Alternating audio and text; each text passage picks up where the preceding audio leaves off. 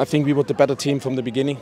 Um, uh, had chances, didn't convert them, uh, but controlled the game totally in offense, but also in defense. Uh, the longer the game went, we got uh, restless because we we needed the three points, and we we gave too many transitions away, especially when we had a corner. They were running an our goal. Um, one or two situations also uh, where we saw a different decision uh, in a duel with our defender, and that obviously invited Lyngby to have uh, one or two big, big chances in the second half.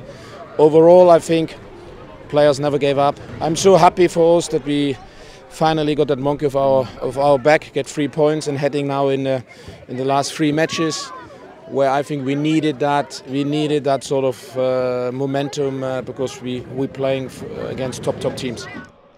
Since I'm coming here, um, I feel very privileged uh, in every match, home or away, uh, to get the numbers that indicates not only to me, also to the players and to whole Denmark. Uh, we are a big club, a big big club, and uh, today to make them happy, to have something to share and to go on the long three and a half hours back home.